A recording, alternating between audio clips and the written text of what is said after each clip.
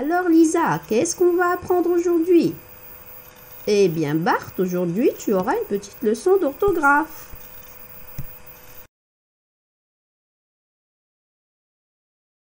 Tu te souviens quand on a parlé des déterminants? Deux genres, masculin et féminin. Le, la, un, une, ce, cette. Oui, comme une chèvre, un mouton. Donc, une chèvre, c'est une chèvre. Un mouton, c'est un mouton. Exact. Et ce sont des noms qui ont un seul genre. Mais attention, il existe des mots où seul le déterminant peut indiquer si le mot est au masculin ou au féminin. Par exemple, le pianiste, la pianiste, un artiste, une artiste, ce fleuriste, cette fleuriste. Par contre, il existe d'autres mots qui sont très différents quand ils désignent un autre genre. Il n'y a pas de ressemblance. On ne trouve pas la même racine, rien à voir. Par exemple, un homme, une femme, un frère, une sœur, un cheval, une jument. Oh là là, tous ces mots. Oui, il y a d'autres mots qui peuvent se mettre au féminin et la règle de base, c'est que le féminin se forme en mettant un E au masculin. Par exemple, un ami, un avocat, un lapin. Et si c'était une?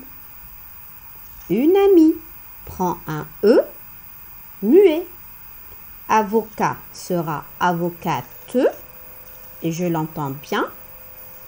Pareil pour lapin, lapine.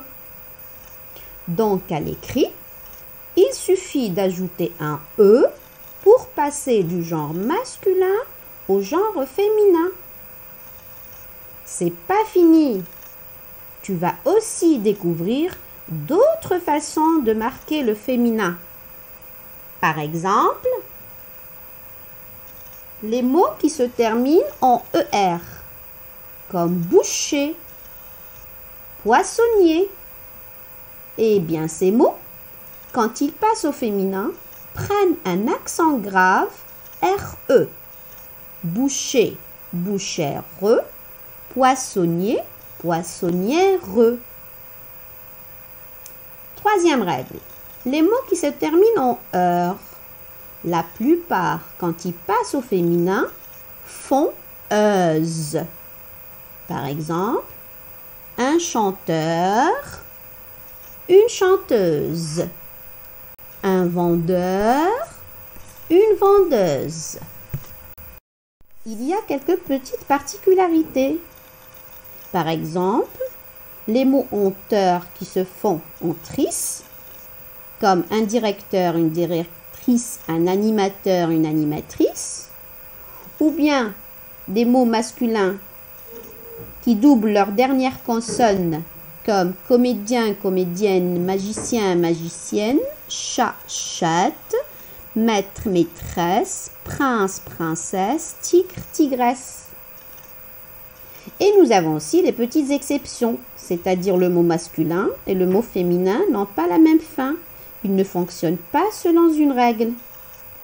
On dit qu'on modifie la fin du mot. Ce sont des cas un peu plus rares, comme loup, louve, canard, canne, veuf, veuve, chameau, chamelle.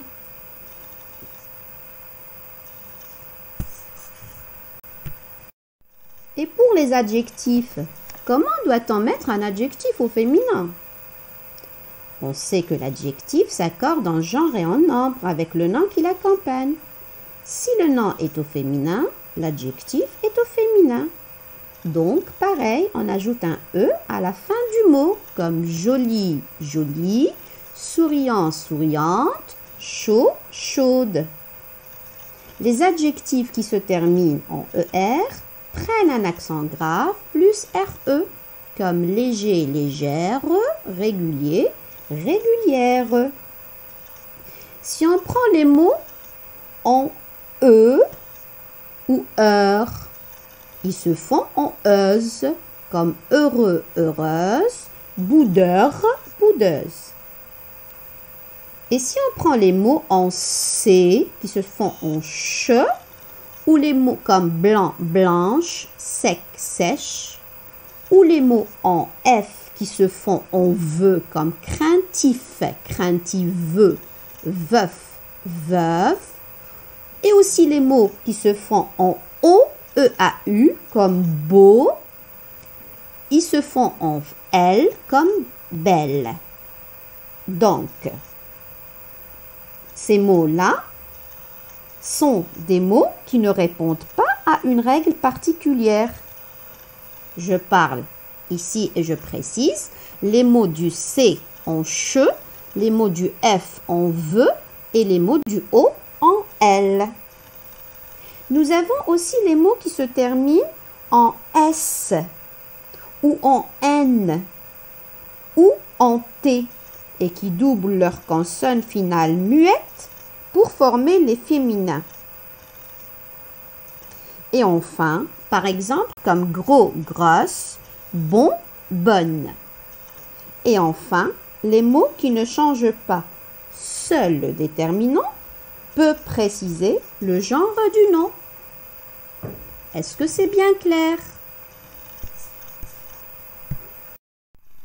Ouf Je crois que j'ai bien compris la leçon. Maintenant, en avant la musique.